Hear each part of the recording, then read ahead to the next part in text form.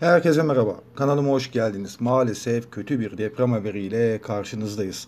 AFAD ve Kandili Residence tarafından yapılan açıklamaya göre Erzurum'un Karayazı ilçesinde deprem meydana geldiği ifade edildi.